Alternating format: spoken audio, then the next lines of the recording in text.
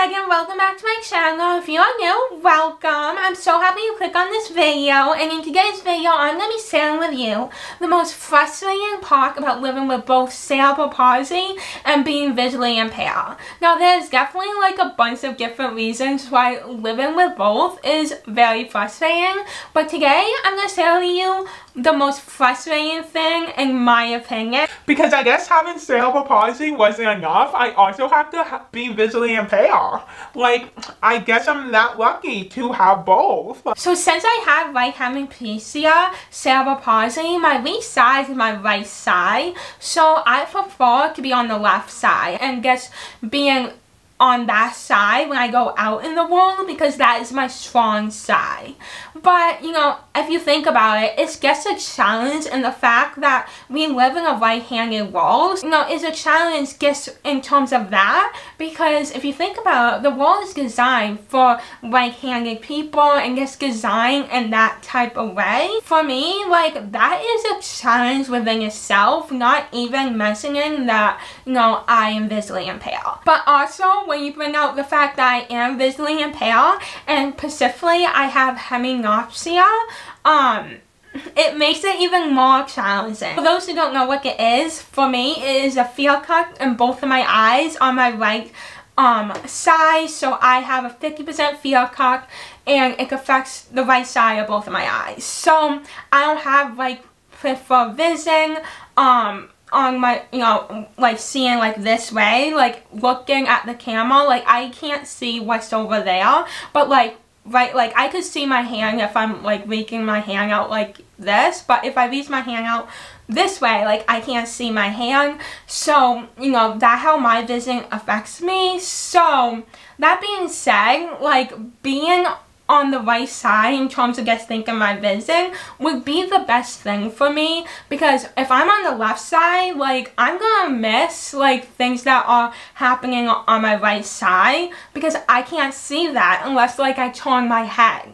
So that is you know a challenge for me because, you know, I prefer to be on my left side because of my cerebral palsy. So my cerebral palsy is telling me, like, be on your left side because, you know, that is my strongest side and that way I feel most comfortable. But being visually impaired is telling me, you know, the safest place to be is towards the right as possible because you know, you won't miss as much and you won't like knock into things and you will see where you're going a lot better. So for example, if you're going up a flight of stairs in public, you go on the right side because that is how the wall is designed. You go on the right side and you say towards the right and that's how you go upstairs. But for me, I prefer to go upstairs on my left side because I'm most comfortable doing that. But of course, like, if a staircase is crowded and there's like people going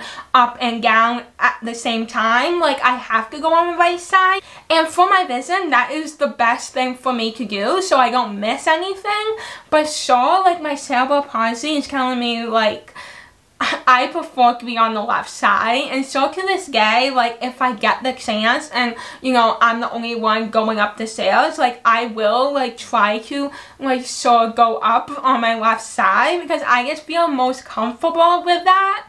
But I will say like I have gotten better um so you know it's just really frustrating like having, you know, cerebral palsy and also being visually impaired because, you know, they're both telling me like different things. And I remember in high school, I had orientation mobility and I also had other people working with me to help me like feel more comfortable, you know, be on my right side. Specifically, that was like going in hallways and, you know, navigating through, you know, hallways to get to my classrooms.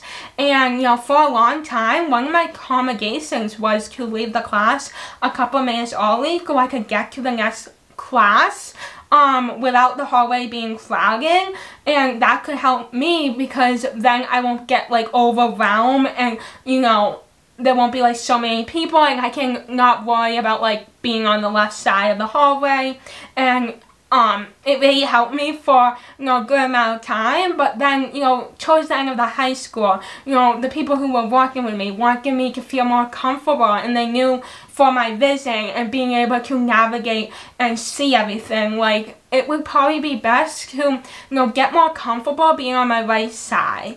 And even though I feel more comfortable on my left side because of my CP and because, you know, that's my strongest side, like, my vision also like it's it's so hard. I definitely got better and at the end of high school, you know, I started leaving at the regular time, you know, everyone else get in class. And, you know, I did pretty well with that. And then by the time I got to college, you know, I left at the time everyone else did. And I think I did pretty well. You know, college is a little different because, you know, classes end at different times. So sometimes, you know, the hallway would be crowded, but sometimes it wouldn't. Sometimes where it wasn't crowded, like, I think I did pretty well staying on my right side. But I will say, like, I sort of tend to want to be on my left side when I get a chance and if it's not crowded because you know I just feel most comfortable and I try my best to like make sure I'm so looking at the right side so I don't miss that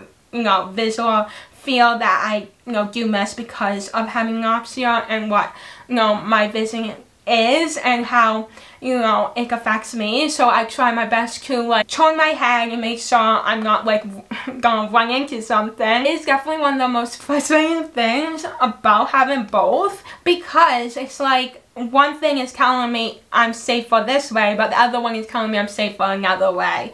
And, you know, I have to choose one and also, like, being like left-handed and being like the left side is my strongest but also like living on a, world that is designed for right-handed people. So it gets like it's so hard.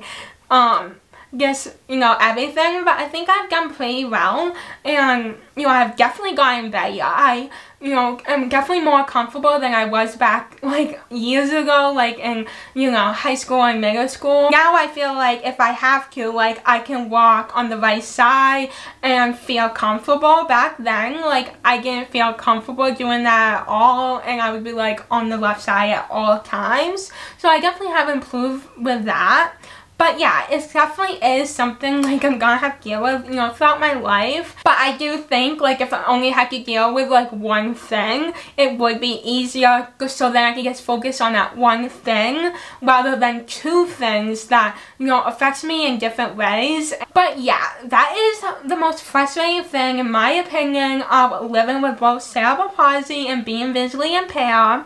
I hope you enjoy hearing, you know, my thoughts on that. And and if you like this video, give it a thumbs up. It really helps me a lot. And if you haven't already, subscribe to my channel. It would mean so much to me. I post Monday and Fridays, um, so you don't want to miss out on that. Also, turn on post notifications so you don't miss out on any of my videos. I hope you have an amazing day, and I'll see you in my next video very soon. Bye.